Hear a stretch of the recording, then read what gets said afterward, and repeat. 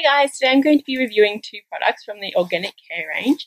The first one is going to be the lemongrass and ginger antibacterial hand wash and this is with olive oil and lime scented. So this one I've been using for a while as you can see and I really love this as antibacterial and a liquid.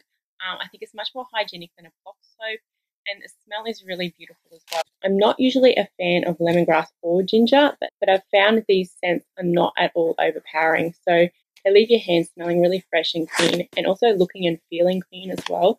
Um, so they don't leave you with that dry feeling.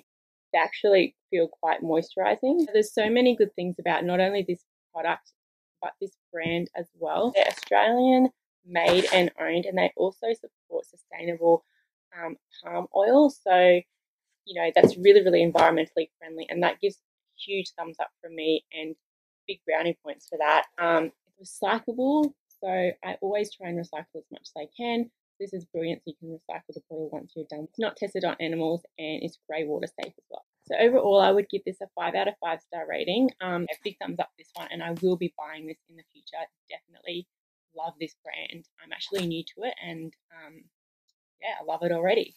So now onto the body wash. Now this is a vanilla and yang yang. Oh my god, vanilla and yang yang is the L silent. I'm not really sure how to say that. But um, this is really cool. This is a huge bottle to start with, 725 mils. So this is going to last forever. Um, I've only used about that sort of much. This has got organic sunflower and Brazil nut butter, and I think it must be the Brazil nut butter. I've never actually smelled now, and the smell is incredibly beautiful. It's almost like a, a like a lolly candy scent. It's really, really yummy. And this has got vitamins A, C, and E. They're the same pump style, same as the hand wash. So they're really, really easy to use. You just push the pump down, out comes the product. So overall, I would give this five out of five stars, probably even six or seven or eight stars. I love it so much. I just I can't get enough of the smell. It lathers so well and highly recommend it. So thanks so much for watching. I'll see you later. Bye.